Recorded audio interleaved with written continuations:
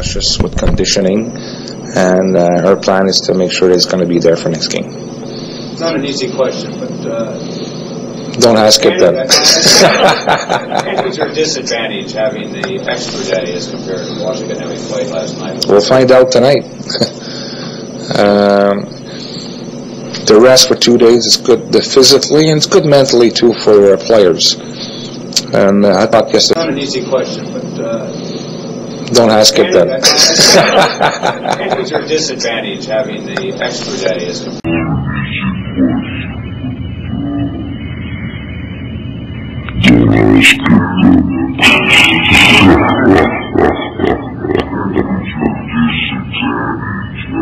day